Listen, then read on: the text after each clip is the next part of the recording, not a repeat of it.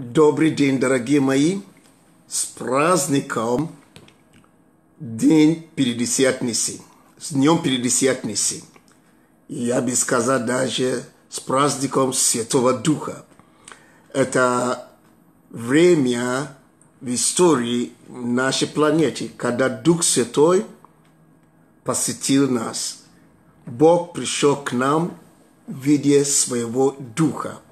И вы знаете, хорошая новость в том, что он до типа, более две тысячи лет тому назад он сошел на планете Земли. И он сошел, чтобы быть с нами. Поэтому я поздравляю вас с этим замечательным день. И вопрос даже в том, что не день мы празднуем, мы празднуем личности. Это похоже на то, что у вас день рождения и пригласили людей. Не тот день празднуем, мы празднуем вас как э, личность и как именинник. Просто этот день имеет отношение с твоим приходом на планете Земли. Так и же сегодня мы вспоминаем Святого Духа, и мы вспоминаем, почему Он пришел по сказке Иисуса Христа, Евангелие от Иоанна, 16 глава, 7 стих, что лучше для вас, чтобы я пошел. Ибо когда я пойду, я пошлю вам Святого Духа. Придя Он, Он наставит вас всякую истину, Он утешит вас и так далее, и так далее. И мы рады, что Иисус исполнил своего слова. Когда было это слово исполнено? Деяния апостолов, 2 глава, написано, при наступлении Дня Пятидесятницы все они были единодушно вместе. И внезапно сделался шум с неба, как бы от несущегося сильного ветра, и наполнил весь дом, где они находились и являлись, явились им разделяющиеся языки, как бы огненные, и почили по одному на каждом из них. И исполнились всех Святого Духа и начали говорить на иных языках, как Дух давал им провещевать. Это удивительное событие, и это событие Слава Богу, что не закончилось с учениками Иисуса Христа, но и продолжается и с нами, и буду продолжаться с тем, которые придут после нас, нашим детям и поколения, которые придут после нас до прихода Иисуса Христа.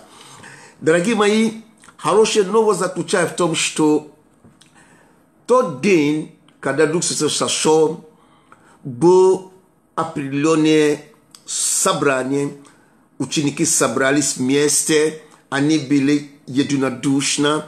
И это очень важно, когда мы собираемся вместе. И особенно, когда цель нашего собрания ожидать что-то от Бога. Или ожидать Бога, чтобы Он что-то сделал с нами. Или изменил, или благословит нас или укреплять нас, назидать нас, утешить или благословить. Но хорошая новость в том, что Дух Святой уже пришел на такое собрание. И до тех пор он приходит на подобные встречи, где люди его ожидают, то ли по семейных кругах, то ли по круги друзей, то ли по круги верующих, церковное собрание – или на конференции, каждый раз, когда его ожидают, он проявляется. Он уже пришел, но открывается нам, и мы ощущаем его присутствие. День Пятидесятницы, когда он пришел, его прихода совпало с этим днем. Случайно ли это? Не думаю. Бог все продумал, все планировал, чтобы именно раньше и не день позже. Дни Пятидесятницы. Но именно этот день. Потому что для сознания э, те люди э, в том регионе и культура, то, что есть день Пятидесятницы, несет с собой определенное послание. Сам день Пятидесятницы – это послание для иудеев. Потому что, когда мы читаем книга Левитов, Моисеева, 25 глава, мы понимаем, что Бог говорил народу, что именно этот день Пятидесятницы имеет особое послание для народа. Первый – это день искупления от долгов. День, когда все долги прощаются. Это 50-й год. День, когда земля отдыхает. И э, это день искупления для народа Божьего. Народа Божьего, израильтяне. И поэтому не случайно, что Дух Святой пришел этот день, чтобы подтвердить, что Иисус есть ключ к нашей искуплению. Искупление нашего крови Иисуса Христа. Окей. Второй. Это день прощения от грехов когда люди прощают друг друга, приходят друг к другу, признают проступка их при друг другом, и они прощают друг друга, и молятся за друг другу, и исцеляются. Чудеса происходят. Поэтому, как и Дух Святой, Он сверхъестественен, и его прихода сверхъестественно, и все, что связано с ним сверхъестественно, потому что Он есть Дух Божий, так и происходит сверхъестественное отпущение, то есть прощение от грехов. Все грехи наши Господь прощает. Поэтому день Пятидесятницы для иудеи это не день искупления от долгов только, но прощаем долги наши. Как Иисус сказал в молитве, молитесь, прости нам долги наши, как мы прощаем должникам нашим. То есть это обоюдостороннее, обоюдосторонное. Друг друга мы прощаем и молимся друг за другу и исцеляемся. Чудо. Аллилуйя. Поэтому день Пятидесятницы несет тебе, себе эти характеристики. Искупление от долгов, прощение от грехов. Третий. Свобода – это день свободы от рабства.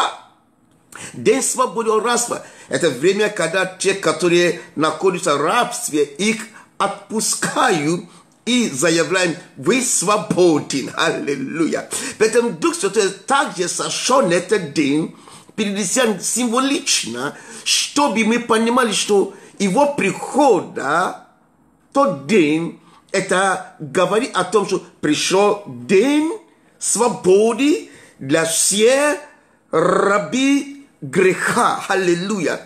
День свободы от рабства греха, от силы тьмы, от господства этого века, от власти сатанистской, как Иисус сказал Павел, я призвал тебя быть свидетелем того, что ты увидел и что я тебе открою. Ты пойдешь и освободит людей от власти сатаны. Аллилуйя. Поэтому это день свободы от рабства. День Пятидесятницы также послание о том, что день новой жизни для нового человека. День, когда мы возрождаемся. Представьте себе человек, который должен кому-то, или он раб, или в долги какие-то. И тот день Пятидесятницы он получает прощение, свободу, искупляет все. Как он будет жить? Он чувствует себе, что бремя на его плече все снято. Все снято. И он свободен. Он становится новым человеком без долгов. Это день новая жизнь. Он начинает жить как будто у него никогда, никогда в этом свете не было дороги. И так и же Дух Святой пришел, чтобы помочь нам начинать новые жизни во Христе. Аллилуйя. Как будто у нас никогда не были грехи. Аллилуйя. Аллилуйя. Поэтому День Пятидесятницы несет послание День новой жизни для, для нового человека. Аллилуйя. И этот день может быть для вас сегодня. Аллилуйя. Мы читали Деяния по второй глава, и мы поняли, что есть что-то связано с Днем Пятидесятницы для иудеев того времени. И что это такое? День наполнения Богом. Они прославляли Бога, благодарили Богу за Его милости и благости. И Пятидесятницы, когда Дух Святой сошел, что Он делал? Он наполнил все, кто ожидали его, более 120 человек в ту комнату единодушно. И Дух Святой пришел каждому из них. Он не пришел как оптом. Он пришел индивидуально каждому, наполнил каждого и сошел на каждого, и каждый начал говорить, как Дух давал ему говорить, провещевать. Аллилуйя! Это день наполнения Богом Святым Духа. Вот это пятое послание. Шестое послание – это день юбилей. День юбилей. Юбилей – это праздник.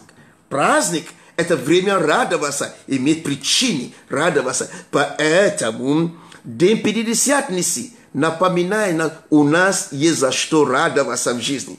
И Царство Божие входит понятие Царства Божьего. Царство Божье – это радость в Святом Духе. Именно в Святом Духе. О, пастор Самсон, я не могу радоваться. Не, он радуется. Дух Святой за тебя не будет радоваться. Ты будешь радоваться в Святом Духе. Ты радуешься, что Дух Святой сошел. Ты обходит все трудности и начинаешь радоваться о том, что Дух Святой уже пришел. Аллилуйя. И седьмое послание. День Пятидесятницы – это день восстановления. Восстановление достоинства, восстановление честь, восстановление личности, восстановление человечества, восстановление силы, восстановление свое богоданное призвание и месте, и вооруженным Духом Божьим, и Его силою, и быть частью Божьего естества, и начинать говорить, как человек наполненным Духом Божьим, стать голосом Иисуса Христа, стать голосом Святого Духа. Аллилуйя. И восьмой, восьмой, восьмой. Когда мы читаем о дне Пятидесятницы левитов, это был день хождения, когда Бог благословляет каждого человека, и Он увидит свое владение. Люди входят в свое собственное имущество, владение, материальное благословение. Дух Святой пришел, чтобы это тоже подтвердить. Сегодня у меня есть только короткие такое послание для нас. Восемь посланий, которые несет с собой день Пятидесятницы. Первый – это день искупления от долгов. Второй – день прощения от грехов. Третий – день свободы от рабства. День новой жизни. День наполнения Богом Духом Святым. Шестой – день юбилея. Седьмой – день восстановления. Восстановление достоинства, честь, личность, физическое здоровье, аллилуйя, и день вхождения своих владений и призваний. Аллилуйя, аллилуйя. Господь даст в будущем мы возьмем каждый из этих посланий по тему и сделаем серию учения – и мы поговорим об этом. Но на сегодняшнего дня я хочу благословить вас с этим чудесным праздником, чтобы мы с вами понимали, одну простую истину. Дух Святой уже здесь, на планете Земли. Он уже здесь. И Он ждет, чтобы мы открылись к Нему. Помните два человека, которые ходили, э, согласно Евангелию от Лука, 24 глава? Они ходили по дороге, э, которые назывались э, «Позвольте мне открыть, потому что иногда я неправильно произношу слово этого местность. Эль-Муса или Емуса. секунду, секунду. Аллилуйя. Аллилуйя. Когда два, два из ученики Иисуса Христа шли по дороге Элмаус, Элмаус, Элмаус, окей, по дороге Элмаус. И по этой дороге Иисус был с ними. И Он делился с ними. Сначала он задает им вопрос, о чем вы рассуждаете? Они говорят, что вы не слышали, что происходит. Что некоторые женщины сегодня были в гроба Иисуса Христа и говорят, что его там нет, то есть он воскрес и так далее, и так далее. Иисус начал говорить с ним, объяснять им все, что было написано о нем и так далее. И когда он рассказывал им, от, начиная от Моисея и все пророки, объясни им все, что сказано о нем в Писании – и приблизились к селению, к селу, он взял хлеб и э, поделился с ним, и рыбы поделился с ним, и их глаза открылись. И написано, что их глаза открылись. 31 Тогда открылись у них глаза, и они узнали его. И дальше написано, что они говорили, как их сердце не горело, когда он делился с ним Писание. То есть Иисус был с ним. Он уже воскрес, был с ним. Но они не узнали его. Их глаза были закрыты узнать его. Но через послание Слова Божьего, что Иисус делился с ним, а пророчество и тому подобное, глаза их потом открылись, когда он начал практично некоторые вещи делать, делиться с ним пищу, и глаза открылись. И они знали, что это он все время говорит с ним. И их сердце не горело. А потом он говорит, как наши сердца, другими были холодны, когда он говорит с нами. Так и же сегодня Дух Святой уже пришел. Вы меня слышите? Дух Святой уже пришел. Он на земле более 2000 тому назад, бы сказал, более 2020 лет тому назад Дух Святой здесь, в Украине – он пришел и по всему миру. Но как-то для некоторых глаза еще не открылись. Они еще молятся, Дух Святой, приди, Господь, приди. А Он уже здесь. Представьте, эти ребята ходили с Иисусом, эти ученики, и они молили, о, Иисус, воскрес, воскрешай, воскрешай, поднимись из мертвых. А Иисус был с ними. Моя молитва который я хочу совершать вместе с вами, чтобы то сфере наш, та сфера нашей жизни, где Иисус еще не открылся, чтобы Он открылся. Сфера нашей жизни, где Дух Святой еще не открылся, чтобы открылся. Там, где наши сердца не горит, чтобы начал гореть. Аллилуйя. Что Он сошел на нас, когда мы приняли Его, и Дух, и сила Его мы приняли. Чтобы мы начали двигаться и делать те вещи, которые высвобождают его силу. Аллилуйя. Я благословляю вас этим праздником.